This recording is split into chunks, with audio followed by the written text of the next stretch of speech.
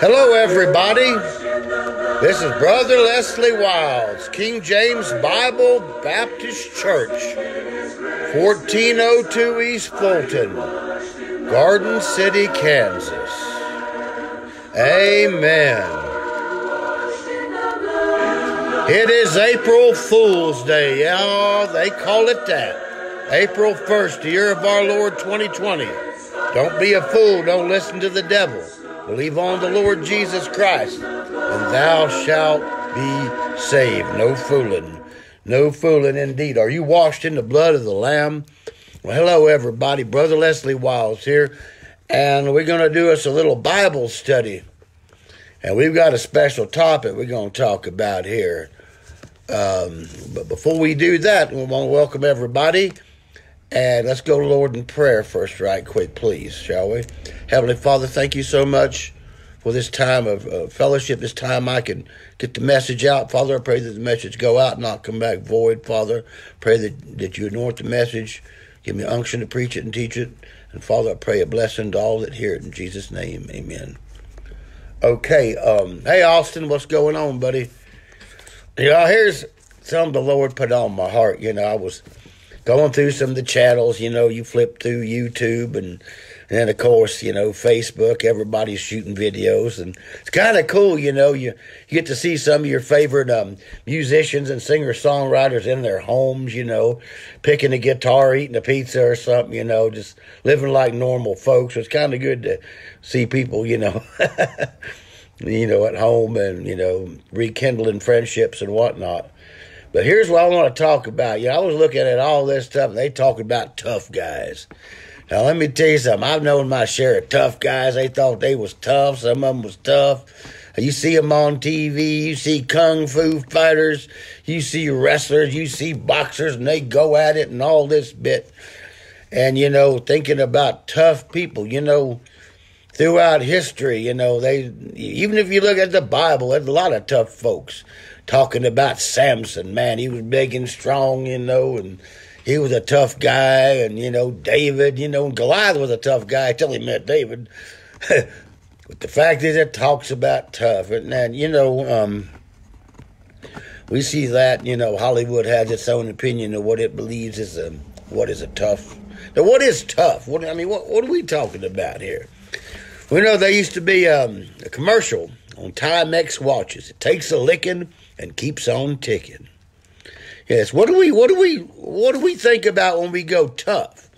Like when we when we get something that you want, you know, for example, you want a tough suspension on your pickup truck. If you got to haul a lot of stuff and you got rough roads, you want to make sure you got something tough. Why? Because it will handle abuse. Okay?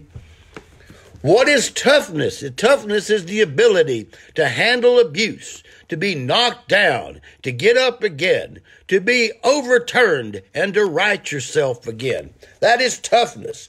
Toughness is the resilience you have. Can you get up when you knock down? That's toughness. A lot of times we think, oh, we tough and we're this, till we come up into a situation. How tough are you? You know, um, here's the thing, guys.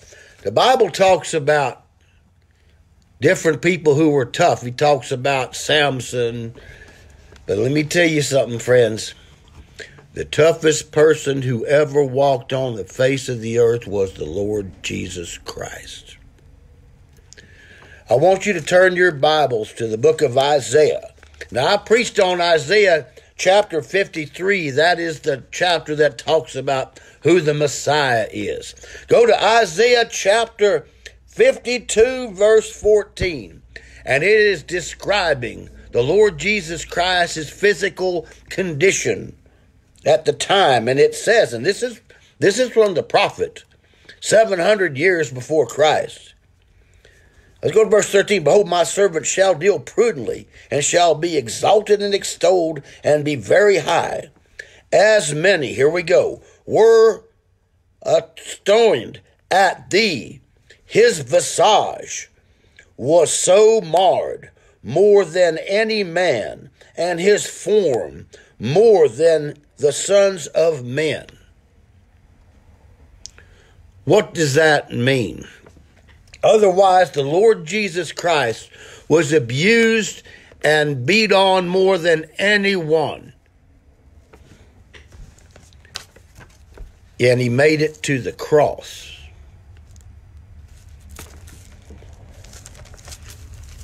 What does it talk about? As many were astonished, thee, his visage was samard more than any man, and his form more than the sons of men. So shall he sprinkle many nations, sprinkle with his precious blood. Now, how is Jesus the toughest guy? Well, I'm going to tell you what Jesus endured, and you can tell me if you can endure it. You know, when it talks about the Lord Jesus Christ, you know, they arrested him in the garden. You know, they took him to Pilate. And, you know, he went back and forth from Pilate to Herod. And he went through what is known as a scourging. Now, what is a scourging? First of all, scourging is done with a whip known as a flagrum. It is a long handled with long, it's like a cat of nine tails, is what it is. And within each of those tails, there's a piece of metal, a jagged piece of metal tied into it, a very razor sharp piece of metal. Y'all don't leave now. You need to hear this because this is what he did for you. You think you're a tough guy? Let's see if you could go through what the Lord Jesus Christ went through. Although none of us qualify to die for anybody's sins. How tough are you? Anyway, this Roman flagrum, cat o' nine tails with bits of bone and metal. And as they put it to the back of the Lord, his skin ripped open, his veins and his blood vessels, blood was pouring out all over. They beat him more than any man. And how he didn't bleed to death right there is amazing. Round a crown of thorns around his head. Could you could you have taken that and lived? Could you have taken that kind of abuse? No, we ain't even at the cross yet. We're just starting. It's going to be gruesome, preacher. It sure will. How tough are you, friend? How tough are you? How tough are you to get beaten and beaten, than having to carry his hundred pound beam across your back? All the way through the old city of Jerusalem beaten the whole time and falling down, crushing your rib cage, breaking your heart essentially as you fall forward in that beam is tied to your back. That's what he did. No man could have survived what the Lord Jesus Christ did. You think you're tough? You ain't tough. I think I'm tough. I ain't tough. No. Yeah, and they beat him and they beat him as he went up that hill. The perfect human, the one who loved you, God Almighty in the flesh, the Word who became flesh. Yes, he was he was marred beyond the visage of any man. Yeah, he was beaten beyond beyond what anybody could ever have been and lived. And he made it to Calvary and they stuck his arms out there. Let me tell you something. These long railroad spikes. Friend, you want to laugh at me and put up a ha ha? Well, let me tell you something, pal. You need to know what he did for you. These long spikes went right through his wrists, not through his hands. God Almighty crushed through his wrists, both sides. Eh, could you handle that, friend? Are you tough? Big guy, big girl, you tough? and then his ankles together. They ran this spike through his ankles. Then they hung him up, where his sheer weight, his body hanging on the cross, he couldn't breathe. And he hung there for practically six hours. Yeah. How tough are you? God Almighty did this for you, friends. For God so loved the world he gave his only begotten Son, Who is he? The Lord Jesus Christ. How is he the Son? Because he became a man. The Word became flesh. In the beginning was the Word. The Word was with God, and the Word was God. And everything was created by the Word. So the Creator came down, allowed his own creation to utterly brutalize him. Yes, right, humanity. I'm talking to you, friend. You and I have a choice to make. For God took upon the sins of the world. Let me tell you, we're not done yet. He just got nailed and he just got put up on the cross. Oh, we're not finished yet. He's still got to go through more of punishment for our sake. And the Bible says that he became sin for us on the cross. That for a time, God the Father could not look upon the Lord. He had to look away and at the time he did, Jesus said, Lord, why have you forsaken me? Because for a split second, God could not look at him. Why? Because the sins of the world were coming down on him. Here we have the perfect Lamb of God hanging on a cross, bruised and beaten. How about it, tough guy? Could you take it? And then the perfect Lamb of God Every sin you've ever committed and I've ever committed is being put on him on the cross. Every sin every human being ever committed is put upon that cross. And he is taking it. Hello. Hello. He's taking it on that cross. And you know what? Let me tell you something. Nobody put him to the cross. He went there willingly willingly. He gives his life willingly. He takes it and he gives it. No man takes his life. He gave it up freely. He went to that cross for you and I. That by believing on him and the work he performed, we would have our salvation. How tough are you, friend? I, could, I wouldn't have survived the first round of scourging. Hello? Hello? The toughest man that ever lived was the Lord Jesus Christ. He took a beating beyond anything and he did it for you. And he was beaten by people who were hate mongers, who were liberals, who thought everything was right but him. Yeah, these were the people, the lovers of sin. All these people. Yeah. He died for them too. He loved the people. The people that abused him the most are the ones that he loved the most. he said, Lord, forgive them, for they know not what they do. And people now still don't know what they do because they haven't heard the gospel. How tough are you, friend? Can you do it? Could you take it? No. How tough are you, friend? Could you handle hellfire? Oh, I can handle it for about a nanosecond. That's all. It's eternity, friend, and it's real. It's waiting on everybody who rejects the Lord Jesus Christ's finished work, which is the gospel. telling you, friend, you think you tough? Tribulation is coming. You think you tough? Go to Revelation chapter 9. Get your Bibles out. Tough guys, tough gals, I'm talking to you that reject the Lord, that are fighting it. All you smart Alex that want that want to make rude calls. Revelation chapter 9. For all you that are going to be left behind, if I got something for you and you ain't going to like this, this is the Lord's word, not mine. Okay? You talking about monsters? I know these folks be calling. They need to knock it off. I'm on the phone. You talk about monsters from the pit? Here we go. Revelation chapter 9. All you guys, you think you tough? Let's see if you can fight this. And the fifth angel sounded, and I saw a star fall from the heaven unto earth. And to him was given the key of the bottomless pit. And he opened the bottomless pit, and there arose a smoke out of the pit, as the smoke of a great furnace. And the sun and the air were darkened by reason of the smoke of the pit.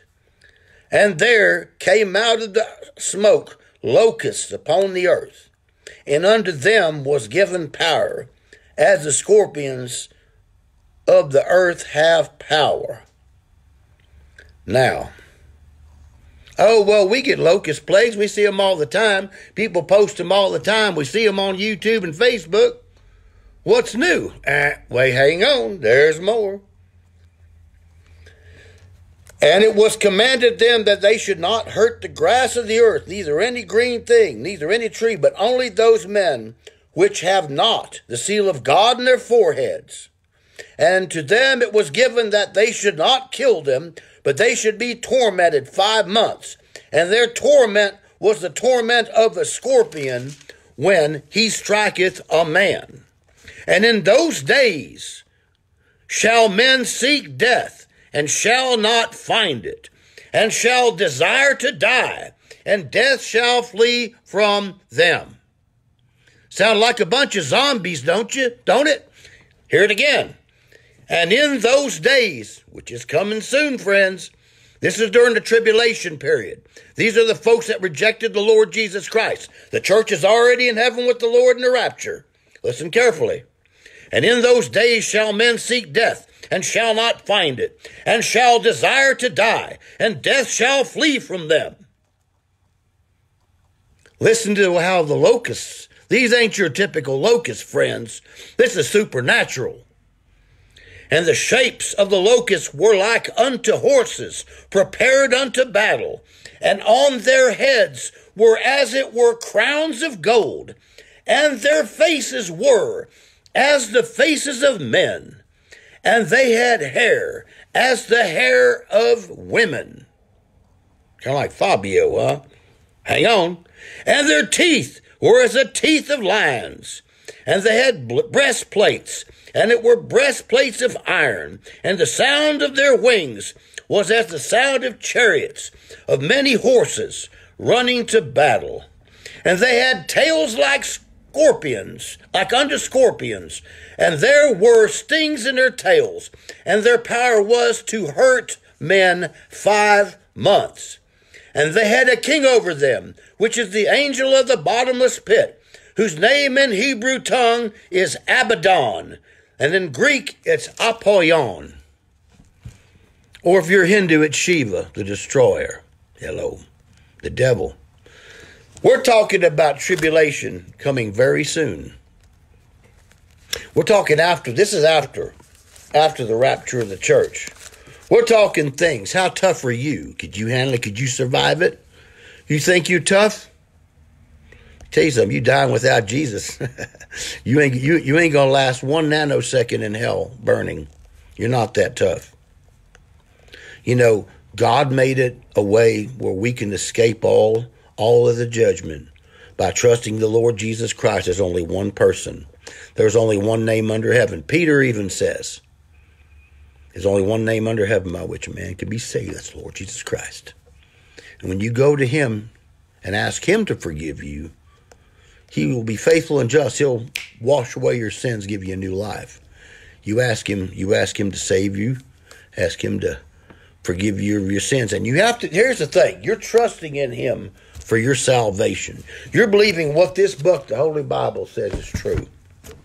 You are trusting your salvation what's written in this book. That's right.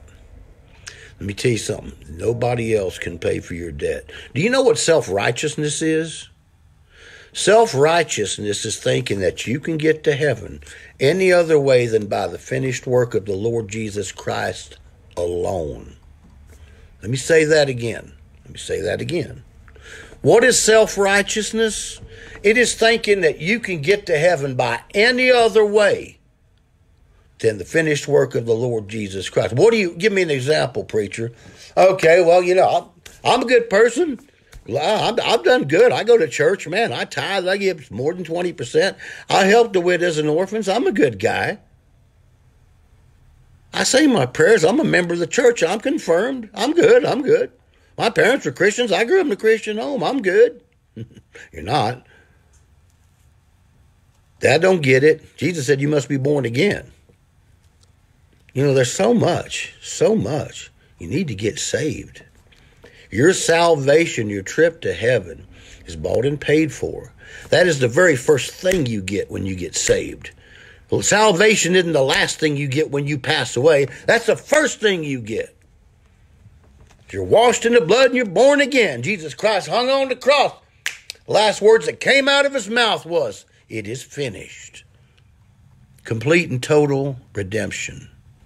You do not lose your salvation. The Lord Jesus Christ is not some impotent demigod or demiurge. He is God in the flesh. And what he says goes. I'm not tough enough. He's the toughest man that ever lived. He took the greatest beating. He took it all. He paid it all. And you know what? When I go to be with the Lord, I'm going to have a whole new set of teeth. I'm going to have all my body be working. I'll have a head of hair again. My goodness. but you know what? For eternity, the Lord Jesus Christ will bear the scars of his crucifixion. And for all of us to see for eternity, we will see what our God did for us. And I'm going to tell you, friend, right now, if you reject the Lord Jesus Christ and you die in your sins, you deserve it. You deserve hellfire for thinking that you're you could get there on your own. The Bible says, none are righteous, no, not one. The Bible goes on to say that man's righteousness is like filthy rags in the eyes of the Lord. Let me tell you something, friends. When I stand before the Lord Jesus Christ, when I stand before God after death, it ain't because I'm good or bad that I'm going to heaven, because I am washed in His blood. I'm covered in His righteousness. His blood is righteousness. His word is your strength and your power. The only reason I'm going to heaven is because of I believe on Him and His precious blood shed and His finished work. And because I can stand in front of God knowing that all my sins are washed clean, forgiven, and forgotten. I can walk in victory now and always, and you can too. I don't, don't let anybody tell you you can't. Oh, thus saith the Lord. The Lord says it, believe it. Yeah, there's a lot of people who are tough. They can take a licking. I'm not tough. Some areas maybe I'm tough. Other areas I just melt like butter. But you know what? We need to get smart. We need to get saved. We need to understand it. Think about it. He's the toughest man that ever lived. He's the greatest man that ever lived. Think about it. He's got more songs written about him than anybody ever existed. Hundreds. You can open up a Baptist hymnal, 500 songs, all about the Lord Jesus Christ. Wow. How about that? yeah. You, you want to worship celebrity? There you go. He's God. He paid it all. He did it all for you and me. Nobody else can qualify. Nobody can come close. Believe on the Lord Jesus Christ, friend, and thou shalt be saved. Don't be a tough guy, be a smart guy, smart girl. Toughness here, smartness. Believe on the Lord Jesus Christ. Let's be smart. Let's stay out of hell. Stay out of hellfire. Believe on the Lord, friend. I'm serious. Let me tell you something the rapture can happen anytime. If you're a lost person and you've got little children under the age of accountability, when the rapture happens, the church is gone, and those children are gone too. And if you're a lost person, you're left behind. I'm telling you, friend, don't be left behind. Believe on the Lord Jesus Christ, and thou shalt be saved.